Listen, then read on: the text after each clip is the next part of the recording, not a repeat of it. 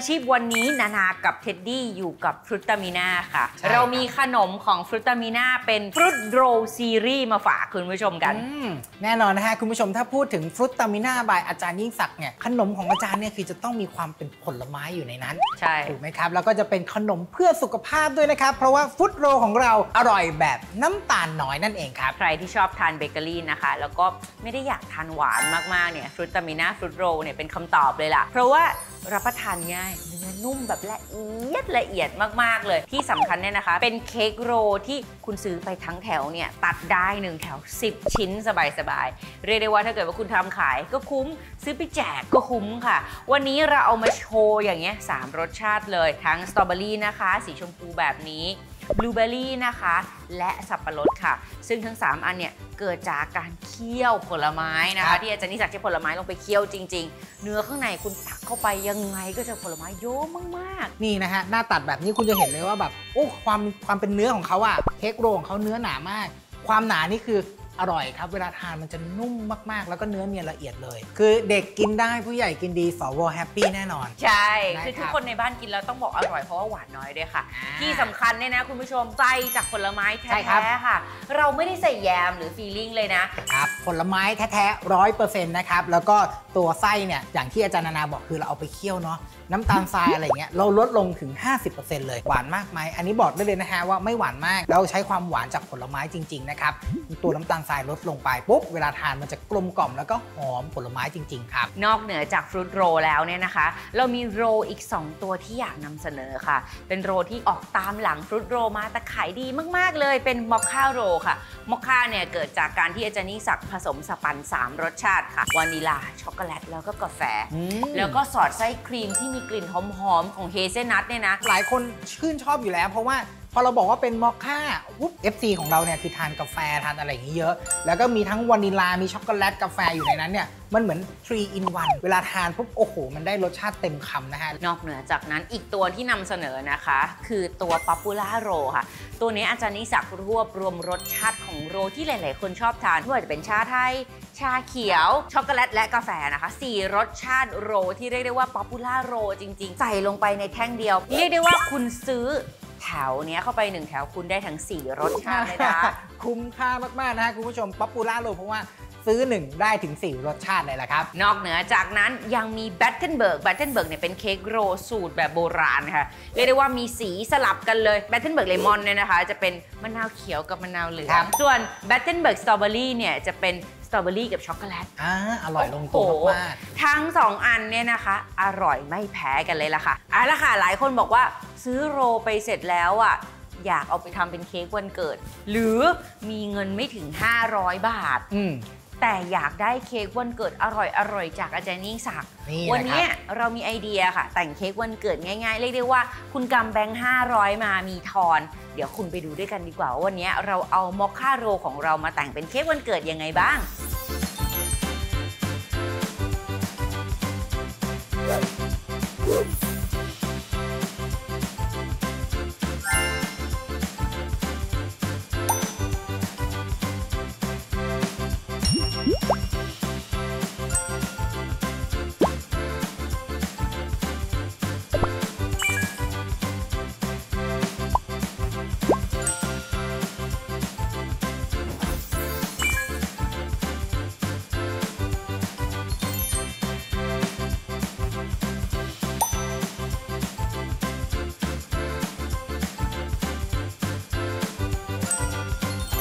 น่ากินน่าอร่อยพร้อมกับไอเดียสวยๆแบบนี้นะฮะคุณผู้ชมสั่งซื้อกันมาได้เลยนะครับ โปรโมชั่นพิเศษจริง ๆ นะครับ ผมขอเริ่มที่ fruit roll อันนี้ก่อนเพราะว่าราคาคุ้มค่ามาก ๆ เลยนะครับ fruit roll ของอาจารย์ยิ่งศักดิ์นะครับ มีทั้งหมด 3 แถว 3 รสชาติแบบนี้นะครับ เราจัดให้ 3 รสเลยนะฮะ ขายเป็นโปรโมชั่น 3 รสชาติ 3 แถวแบบนี้เพียงแค่ 900 บาท พร้อมส่งฟรีทั่วประเทศนะครับ เฉลี่ยแล้วนะฮะตก 1 ชิ้นเพียงแค่ 300 บาทเองค่ะนะครับ popular roll นะครับ Battenberg lemon และก็ Battenberg สตรอเบอรี่นะครับสามารถสั่งกันได้เลยนะคุณผู้ชม 1 แถว 1 ก้อนแบบนี้นะครับเพียงแค่ 450 บาทพร้อมส่งฟรีทั่วประเทศครับ หากคุณผู้ชมสนใจสั่งซื้อนะคะ หรือต้องการรายละเอียดเพิ่มเติม อุ้ยเมื่อกี้ฟังไม่ทันเค้ก roll อะไรนะอ่าคุณสามารถทักเรามาได้เลยค่ะ ทุกแอปพลิเคชันที่ขึ้นตรงหน้าจอตรงนี้ หรือสามารถโทรสอบถามพวกเราโทรมาคุยกับพวกเราได้เลยที่ 0922658968 หรือถ้าเกิดว่าโอ้ฟังอะไรไม่ทันเลยไหนๆเดี๋ยวขอโทรมาอีกทีแล้วกันครับคุณสแกน QR code ที่หน้าจอตอนนี้นะ คุณสามารถทักเรามาได้ตลอดเวลาเรามีแอดมินบริการ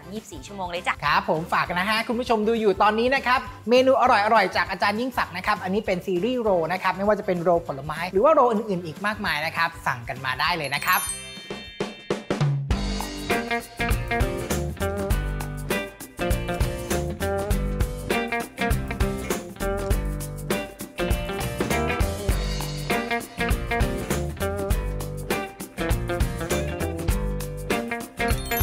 วันนี้ นะคะ Cooking Guru หมดเวลาลงแล้วคุณผู้ชม นานากับเทดดี้ขอตัวลาไปพร้อมกับ roll ของฟรุตามิน่า by อาจารย์ยิ่งศักดิ์เนอะกลับมาพบกับพวกเราได้ใหม่นะคะ ทุกวันอังคารเวลาบ่าย2โมง45 ค่ะ ทางช่อง Workpoint TV หมายเลข 23 วันนี้เชฟประจุบนานาและเทดดี้ขอตัวลาไปก่อนนะ สวัสดีค่ะ สวัสดีครับ ใครที่ชอบทานเบเกอรี่นะคะ แล้วก็ไม่ได้อยากทานหวานมากๆเนี่ยฟรุตามิน่า fruit roll เนี่ยเป็นคำตอบเลยล่ะ ขออนุญาตโชว์แบบนี้เลยนี่ จุดเด่นของ fruit roll เนี่ยก็คือคุณผู้ชมเอาตั้งแต่แป้งเลยนะ อะอันเนี้ยอาจารย์ใช้ sponge แบบสูตรเนื้อหนามากคุณดูสิ หนาแต่เนื้อละเอียดมาก เพราะฉะนั้นเวลาคุณตัดเข้าไปอะ โอ้โห เรียกได้ว่ามันแบบนุ่มมากๆอะ คือยิ่งถ้าเกิดคุณมีผู้สูงอายุอยู่ที่บ้านนะ โอ้โห แฮปปี้มากๆเลยเพราะอมแล้วหายไปเลย ใช่ผมจะบอกเอาลิ้นดุนดุน หายไปเลย อันเนี้ยเป็นหนึ่งในขนมที่เรียกได้ว่า เอาใจ FC อายุเกิน 70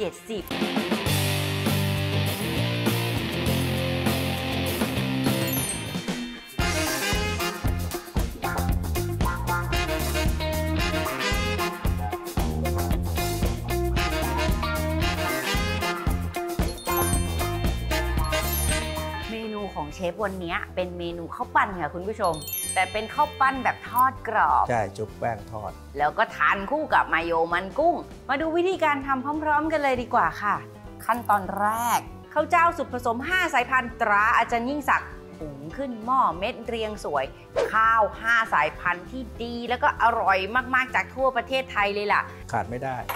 กุนเชียงอะล่ะเชฟเลือกใช้เป็นกุนเชียงหมูมินิค็อกเทลตราอาจารย์ยิ่งศักดิ์ค่ะ หอมกลิ่นหมูย่างเมืองตรัง ไม่ใส่สี ไม่ใส่ดินประสิวค่ะ ไม่มีผงชูรสเลยคุณ วันนี้เชฟเอามาหั่นละเอียดแบบนี้ เอามาใส่ในไส้ข้าวปั้นค่ะ จากนั้นอีกหนึ่งตัวช่วยแสนอร่อย เป็นน้ำพริกเผามันกุ้งตราพ่อขวัญค่ะ ขวัญใจคู่ครัวเติมเสน่ห์ให้ทุกเมนูสร้างสรรค์เติมพ่อขวัญที่คัดสรรวัตถุดิบคุณภาพแล้วเราจะตามด้วยสมุนไพรได้ค่ะ วันนี้กระเทียม หอมแดงใช่ไหมคะครับจากนั้นคุณคะ ข้าวปั้นของเราเนี่ยมีกลิ่นหอมๆ แล้วก็รสหวานนิดนึงเนี่ยนะจากนี้เลยค่ะ น้ำเชื่อมเข้มข้นโกลเด้นไซรัปตรามิตรผลค่ะ น้ำเชื่อมจากอ้อยธรรมชาติ สีเหลืองทองสวยเป็นประกายช่วยเสริมรสชาติหวานกลมกล่อมให้กับเมนูอาหารนะ และสุดท้ายนะคะ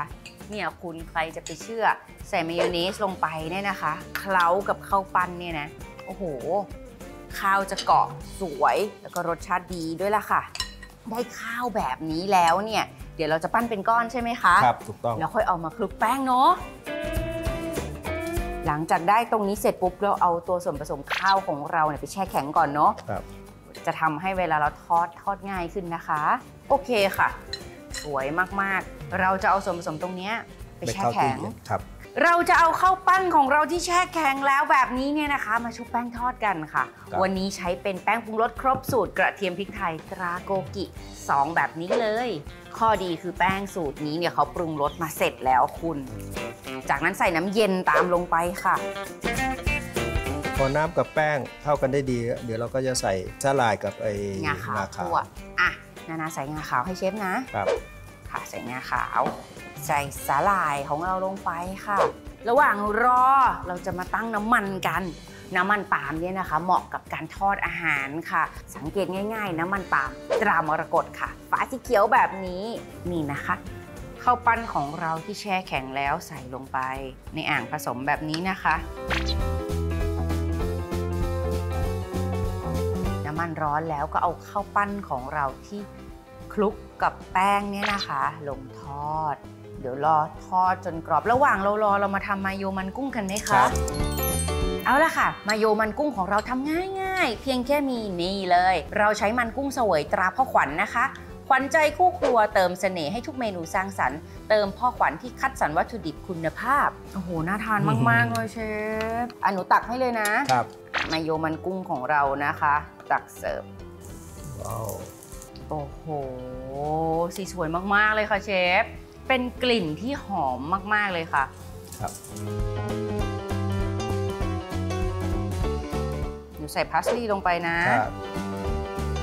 แล้วก็วางพริกสวยๆ ลงไปนิดหน่อย อะ เรียบร้อยแล้วค่ะเชฟขา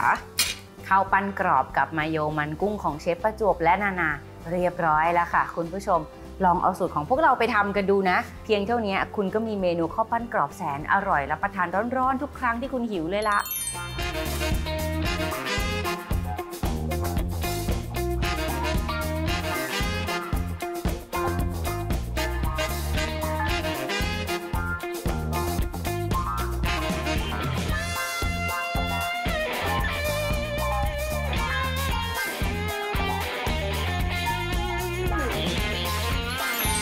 คุณผู้ชมคะช่วงหน้าพบกับช่วงกูรูมืออาชีพ อย่าเพิ่งเปลี่ยนช่องไปไหนนะ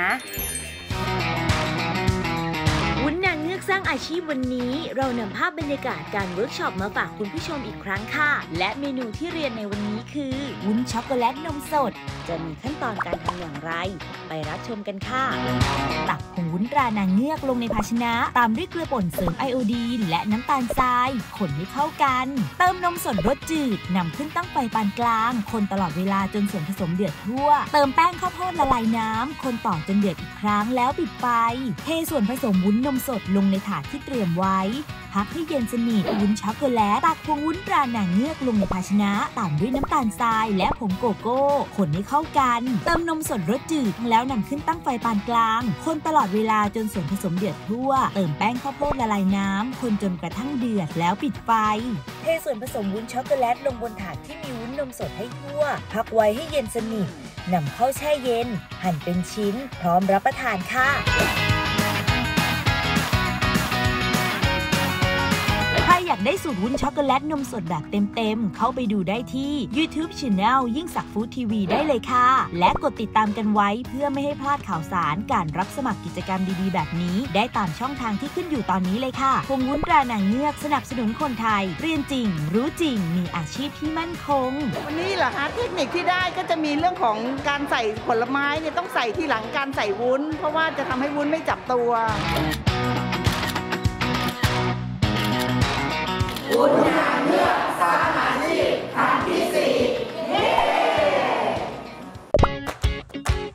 ช่วงมิตรผลมิตรแท้มืออาชีพ ขนมรังพึ่งที่ถือเป็นขนมในตำนาน เป็นเมนูยอดฮิตที่หาทานได้ง่าย อร่อยรสชาติหวานหอม ช่วงมิตรผลมิตรแท้มืออาชีพวันนี้ ได้นำเมนูขนมรังผึ้งมาเป็นหนึ่งในเมนูเวิร์กช็อปอาจารย์ผู้สอนให้เทคนิคกันไปเน้นๆ เพื่อให้สามารถนำสูตรนี้ไปต่อยอดกับธุรกิจของตัวเองกันต่อไปค่ะ ซึ่งเวิร์กช็อปวันนี้มีผู้ประกอบการจากหลากหลายร้าน ให้ความสนใจเป็นจำนวนมาก และเดินทางมาลงทะเบียนกันอย่างเนืองแน่นเลยเลยค่ะ เอาสูตรของพวกเราไปใช้แล้วก็อย่าลืมใช้มิตรผล วันนี้เรามาเลยขนมรังพึ่งกันนะครับ บรรยากาศในห้องเรียนเป็นไปอย่างสนุกสนาน อาจารย์สอนเทคนิคมากมาย และนักเรียนก็ตั้งใจเรียนกันมาก ๆ เลยค่ะ จากสูตรนี้เพื่อให้ได้เมนูขนมรังพึ่งแสนอร่อย ที่มีความนุ่มหอมและหวานกลมกล่อม ส่วนผสมสำคัญที่ขาดไม่ได้เลยก็คือ น้ำตาลอ้อยธรรมชาติตรามิตรผลนั่นเอง เราไปดูวิธีทำกันเลยค่ะ แป้งอเนกประสงค์ เกลือป่นเสริมไอโอดีน วานิลาชนิดผง ผงฟู เติมน้ำตาลอ้อยธรรมชาติรามิตรผล เคล้าให้เข้ากัน เติมไข่ไก่ กะทิและน้ำคนผสมให้เข้ากันใส่เนยสดชนิดเค็มละลาย คนให้เข้ากันอีกครั้ง เตรียมไว้ค่ะ โรยลูกเกดดำและข้าวโพดต้มสุกลงในเครื่องขนมรังผึ้งที่อุ่นไว้ ตามด้วยส่วนผสมแป้งที่เตรียมไว้ แล้วปิดฝารอจนแป้งสุกดี นำออกจากเครื่องจัดใส่ภาชนะ พร้อมเสิร์ฟค่ะ จากสูตรนี้จะทำได้ 8 ชิ้น ต้นทุนอยู่ที่ประมาณชิ้นละ 10.16 บาท เท่านั้นเอง ส่วนใครที่อยากได้สูตรเต็มๆ เพื่อนำไปเพิ่มยอดขาย หรือสร้างอาชีพที่มั่นคง สามารถเข้าไปดูได้ที่ YouTube Channel ยิ่งศักดิ์ Food TV ได้เลยค่ะ นอกจากสูตรขนมรังผึ้งแสนอร่อย และยังได้ความรู้การคำนวณต้นทุนสำหรับการทำขายแล้ว ผู้เข้าร่วมเวิร์กช็อปทุกคนก็ยังได้รับประกาศนียบัตรไว้เป็นที่ระลึกด้วยค่ะ สวัสดีค่ะ ชื่อกวางค่ะ เป็นเจ้าของร้านเบเกอรี่เ s สเคค่ะ ตอนนี้นะคะเปิดร้านมา 6 ปี ตอนนี้ขายช่องทางออนไลน์ สามารถติดตามเพจได้เ s สเคค่ะ ที่ได้ร่วมกิจกรรมของมิตรผลเพราะว่าได้มีเวิร์กช็อปเป็นขนมที่เราชอบทานตั้งแต่เด็กนะคะ ก็เลยอยากได้เอ่อมาร่วมกิจกรรมในครั้งนี้ พอมิตรผลเปิดรับสมัครเวิร์กช็อปตัวนี้ก็เลยรีบสมัครเข้าไปเลยค่ะ เพื่อจะได้ ลองทำสูตรดีๆ จากมิตรผลค่ะ หลังจากที่ได้เรียนสูตรตัวนี้มานะคะรังผึ้งทางร้านเราก็ได้นำกลับมาขายที่ร้านค่ะ แล้วก็ได้ปรับสูตรต่างๆ แล้วมีผลตอบรับก็คือว่าลูกค้านะคะ ของทางร้านเนี่ยชอบมากเลยค่ะ เพราะว่ามีความหอมอร่อย แล้วก็มีความนุ่มมากเลยค่ะเวิร์กช็อปในครั้งนี้นะคะ มิตรผลยังสอนการคำนวณต้นทุน แล้วก็มีการแนะนำ packaging แล้วมีการสอนเทคนิคต่างๆ อีกมากมายเลยนะคะ แล้วท้ายสุดนี้นะคะ ก็ต้องขอขอบคุณมิตรผลที่ทำให้กิจกรรมเวิร์กช็อปตัวนี้ค่ะ ได้เกิดขึ้นมานะคะ ประกอบอาชีพต่างๆ ของเรามากขึ้น ต้องขอขอบคุณมิตรผลมิตรแท้มืออาชีพครั้งนี้ด้วยค่ะ ขอบคุณค่ะ เวิร์กช็อปมิตรผล มิตรแท้มืออาชีพสำหรับครั้งต่อไป พบกับเวิร์กช็อป 4 เมนูอาหารยอดฮิตทำขายง่ายกำไรปังข้าวเหนียวหมูปิ้ง ไก่ย่างเหลือง ข้าวคลุกน้ำพริกกะปิข้าวหมูแดง ใครที่สนใจรีบสมัครกันเข้ามาแบบด่วนๆเลยจ้ารับจำนวนจำกัดตั้งแต่วันนี้ ถึงวันที่ 6 มิถุนายนนี้เท่านั้นนะคะ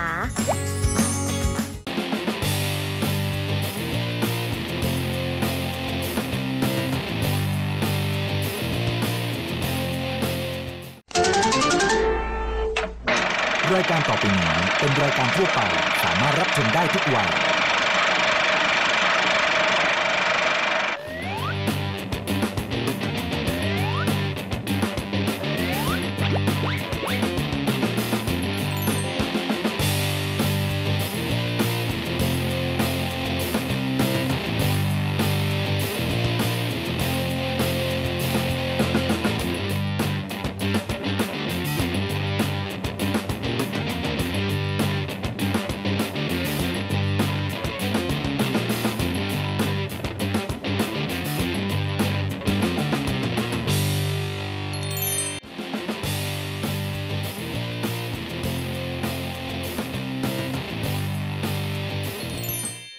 สวัสดีค่ะคุณผู้ชม พบกับนานาในรายการ Cooking Guru นะคะ ทุกวันอังคารเวลาบ่าย2โมง45 ทางช่อง Workpoint TV หมายเลข 23 ค่ะ วันนี้นะคะคุณผู้ชม นานาจะเข้าครัวกับเชฟประจวบนิรังสรรค์ค่ะ เชฟที่เรียกได้ว่าเป็นผู้คร่ำวอดในวงการการทำอาหารในโรงแรม 5 ดาวมาหลายสิบปีเลยล่ะเชฟบอกว่าวันนี้จะชวนนานาทำข้าวปั้นค่ะคุณผู้ชม แต่ข้าวปั้นของเชฟเนี่ยเป็นข้าวปั้นจากข้าวเจ้าสูตรผสม 5 สายพันธุ์ ของอาจารย์ยิ่งศักดิ์แล้วเชฟบอกว่าข้าวปั้นวันนี้ไม่ธรรมดา เพราะว่ามีมายองเนสสูตรพิเศษด้วย อยากรู้ว่าเมนูของเชฟเนี่ยจะเป็นข้าวปั้นแบบไหนเนี่ยนะคะ ขอเวลานานากับเชฟประจวบเตรียมของสักครู่เดียวค่ะ แต่ก่อนที่เราจะเข้าครัวไปทำเมนูแสนอร่อยกันนะ คุณผู้ชม อาจารย์ยิ่งศักดิ์มีเรื่องราวที่น่าสนใจรอคุณผู้ชมอยู่ค่ะ ช่วงเมนูเด็ดอัมพวาการันตี สวัสดีครับ คุณผู้ชมครับ นี่คือช่วงเมนูเด็ดอัมพวาการันตีนะครับ วันนี้อาจารย์ยิ่งศักดิ์อยู่ที่ตลาด World Market ย่านทวีวัฒนานะครับคุณผู้ชมตลาดใหญ่โตมากทีเดียว กว้างขวางจริง ๆ ครับ ครบหมดเลยนะครับ ทั้งของสดอาหารทะเลผักผลไม้ ที่สำคัญเปิด 24 ชั่วโมงเลยนะครับ วันนี้เรามาตามหาร้านข้าวเหนียวมะม่วงเจ้าดังนะครับเขาบอกว่าอยู่ที่นี่แหละครับ คุณผู้ชม โอ้ย เจอแล้วคุณผู้ชมนี่ไง ร้านขนมหวานปลังทิพย์เขาบอกว่าที่เนี่ยข้าวเหนียวมะม่วงคือที่สุดเลย เราไปชิมกันดีกว่านะครับป้าประภัยค่ะทำไมข้าวเหนียวมะม่วง แล้วก็ขนมหวานของร้านปลางทิพย์เนี่ยมันถึงได้โด่งดังอร่อยอร่อยมีแต่คนติดอกติดใจมีเคล็ดลับอะไรคะ ใช้ข้าวเหนียวเคี่ยวงูค่ะ อ๋อ ใช้ข้าวเหนียวใช้เคี่ยวงูคัดอย่างดีทุกอย่างเลยค่ะ ใช้ของดีหมดเลยใช่ค่ะอะแล้วใช้มะม่วงพันธุ์อะไรคะเนี่ยน้ำดอกไม้กับกับน้ำห่อค่ะ แล้วน้ำกะทิละป้า ทางร้านใช้อัมพวากะทิร้อยเปอร์เซ็นต์เป็นเคล็ดลับเมนูเด็ดขาวข้นหอมมัน ได้รสชาติเหมือนกะทิคั้นสด ใช้สะดวกไม่ต้องเสียเวลาคั้นเองเลยค่ะเพราะใช้อัมพวากะทิร้อยเปอร์เซ็นต์นี่เอง ถึงทำให้ขายดิบขายดีขนาดนี้นะครับและนอกจากจะทำให้ขนมอร่อยแล้ว ยังมั่นใจได้ถึงความสะอาดและปลอดภัยแน่นอนนะครับ ป้าพูดขนาดนี้ต้องขอชิมแล้วล่ะ ใช่เลยค่ะอู้ตายจานเบลเลอร์เบล่าเลขย องเราอร่อยค่ะเหรอ นี่มะม่วงอะไรอะมะม่วงน้ำดอกไม้ค่ะ น้ำดอกไม้ อุ้ยกะทิฉ่ำเงาวาวเชียว อุ้ยหอมน่ากินนะป้า อือหืออุ้ยอร่อยมากเลยอะมะม่วงหวานหอมข้าวเหนียวนุ่มกลมกล่อมมากเลย มีกลิ่นกะทิหอมๆ แล้วก็น้ำกะทิที่ราดนะ มันมีความเข้มข้นมากเลยค่ะตายอร่อยจริง ๆ ค่ะอื้อหือโอเค ป้าจ๋าถามหน่อยสิ ทำไมมาซื้อข้าวเหนียวมะม่วงร้านปรางทิพย์ล่ะ ข้าวเหนียวก็อร่อยมะม่วงก็หวานกะทิก็หวานมันเหรออร่อย สามีชอบกินอ๋อสามีชอบโอเคก็และสำหรับคุณผู้ชมที่กำลังชมอยู่นะครับ อยากชิมเมนูข้าวเหนียวมะม่วงอร่อยๆแบบนี้แล้วก็มาได้เลยนะครับ ที่ร้านขนมหวานปรางทิพย์ตลาด World Market นะครับ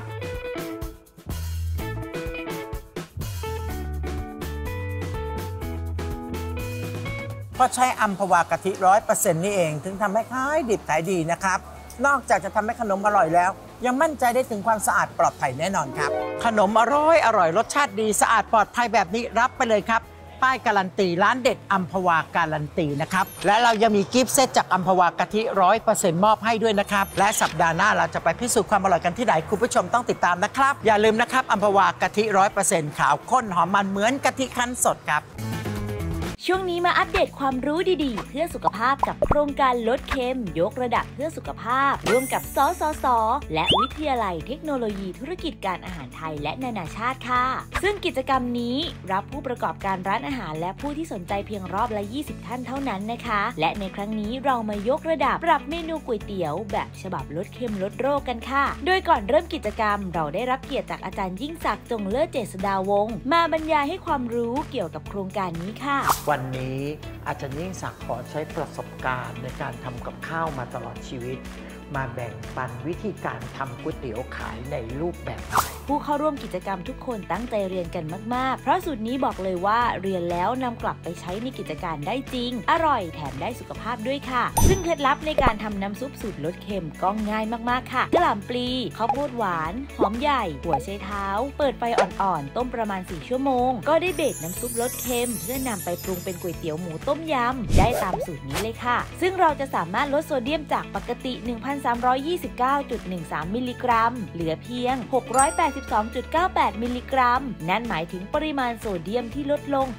48.61 เลยทีเดียวค่ะ และนอกจากจะได้สูตรดีๆ เพื่อสุขภาพแล้ว เรายังได้รับเกียรติจากผู้ช่วยศาสตราจารย์นายแพทย์สุรศักดิ์กันตะชูเวศิริ ประธานเครือข่ายลดบริโภคเค็ม มอบประกาศนียบัตรให้แก่ผู้เข้าร่วมโครงการลดเค็ม ยกระดับเพื่อสุขภาพไว้เป็นที่ระลึกอีกด้วยค่ะ เดี๋ยวนี้คนมีความสนใจเกี่ยวกับสุขภาพมากขึ้น คือเราไม่ต้องปรุงอะไรมันก็อร่อยตามธรรมชาติได้เลยอะค่ะโครงการนี้มีประโยชน์มาก ๆ เลยนะคะสำหรับทุก ๆ คนเพื่อที่จะให้ดูแลสุขภาพของตัวเอง